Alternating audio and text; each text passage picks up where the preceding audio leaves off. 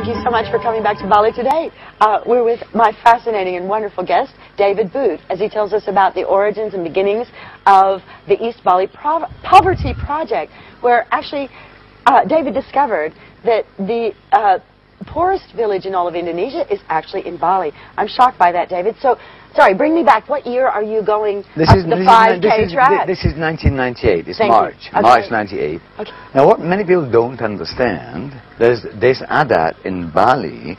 It means they come from a different background, okay? So it means they believe there's certain things that are different in what they believe, different dialects in their language. Sure. And the fact these people are being cut off from any kind of communication, never heard of a radio or TV or read a newspaper before, and there was only one tiny road going in from the bottom. The village on top of the mountain. So the people at the top, the let's say the 15 hamlets nearest the top of the mountain, they had no access to come in and out anywhere. I'm confused. I can see when I'm in Karangasem, you can see the, the, the, the remnants of the explosion. And the family that um, I'm most friendly with in Karangasem talk about after Gunung Agung exploded in 63. 63, they, of course, had to move down the mountain to find any land to call their own. And they ended up with a very strange kind of shaped piece of land, but that's where they've now been for four generations. Please tell me, what happened on the Ban side? Well, when Mount Agung erupted, because the problem is there, because there's never been any access to nutrition or education or any healthcare, the life was survival. So even when I met them in 98, these, most people had never, of course they'd never seen a white man before, they'd never heard of a, a midwife or a toilet, and life was survival, all they followed what their ancestors knew. Now, when we managed to get a bit of information through some Bal- very good cultural Balinese friends, after Mount Agung erupted, they were given a chance to move, well, had to move out. Sure. 30, 40 meters of volcanic ash. No one knows how many were killed. But some were given a chance, a few families, to transmigrate to Sanur, some to Lampung in South Sumatra. Others walked for hours or days or weeks to get away to either Amlapur or even towards Singaraja. When the eruptions finished, they had to find their land again. Everything is totally Find the changed. land, uh, All landmarks covered. changed. Yeah.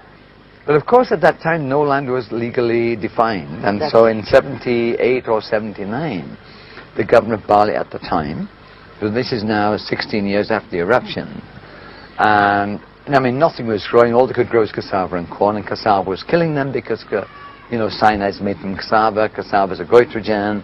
So the highest rate of goit in the whole of Indonesia in 98, when the government surveyed every village in Indonesia, was in Desa Ban. 84.5% goiter rate. Okay, we've seen photos sometimes. Right. Yeah. And uh, they never had access to safe water. It was all brown or green. Now, is this in your uh, film that you've brought us? Because I know. yes, um, there's basic information. right. So, and that was the most powerful tool we had to show people, because people, uh, this can't be Bali. And. Bali's a tourist place. Yep. Bali's beaches. Yeah. Bali's surfing. Yeah. Bali's bars. Yeah.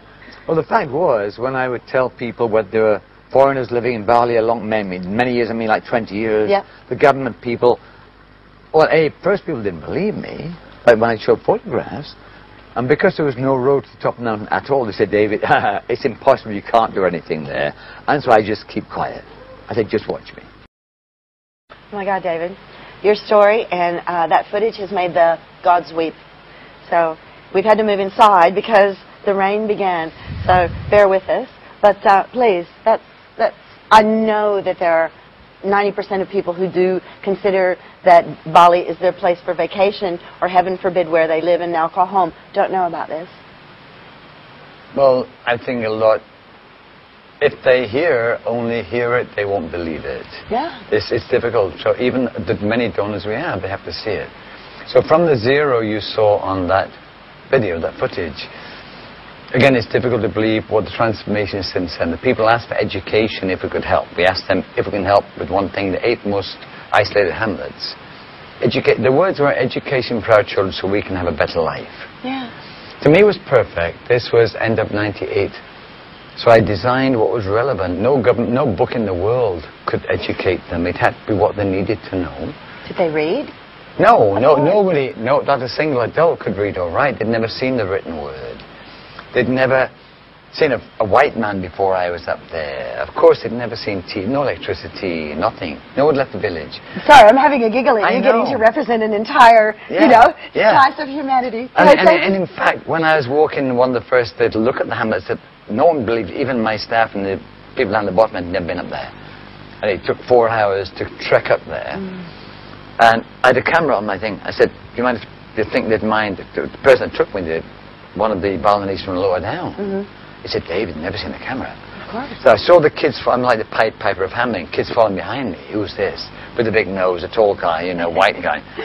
and I'm setting the camera, and as I turned round to that, all they all ran. Sure. All I got was legs behind the back of uh, bamboo buildings. Because that's all they had was bamboo, woven bamboo buildings and dirt floors. Yeah. And maybe three by four meters, and seven or eight people lived there. Well, we So, have we have this the- tyranny of time.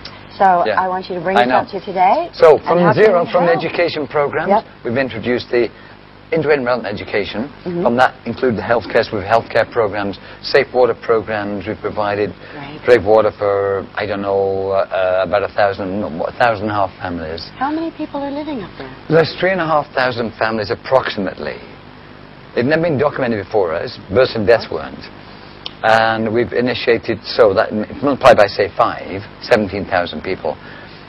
Health, we've initiated 27 health programs, mothers and babies. So we've got maternal child health and playgroup program. So you educate kids from zero. Start with the kids. I thought the next thing has to be the mothers and the kids that aren't born yet. Get the next generation. So the first toilets in history were installed just two months ago.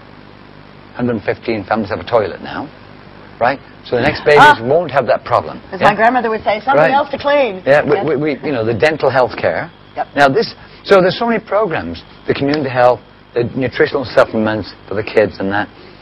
Um, we have many donors, but we need to develop. The kids now who are going through our programs from the beginning, they're graduating school. I want to give them a future. They don't want to leave the village. The future is there. The reforestation, the agroforestry, the businesses. We've got art, we've got yoga, we've got karate, we've got music starting now, right? There'll be professionals. But we need resources to get more training into there, all the different skills. We've got solar power in our five schools. There's no electricity, but solar power now. So we're getting, we're getting some laptops donated. So we want to get people now, our kids are graduating as dance teachers, as proper professional Balinese musicians. They've never heard music in their life before. They've never seen Balinese dance. They didn't know what it was. Girls couldn't move their fingers, you know. It was funny. It wasn't funny, it was sad.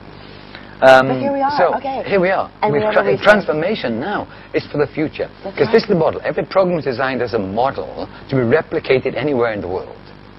We've got the Art of Learning by Doing book. We've got a copy here, which I'll give you, maybe put on the screen for people Sure. to see, Well, we also which is based on our programs. And this is the main thing is we- Right. we, have this horrible thing about time on this program. I know. And we need to do a whole show on you. Yeah. And I have to say sincerely, I've never met a person like you who's just doing it all.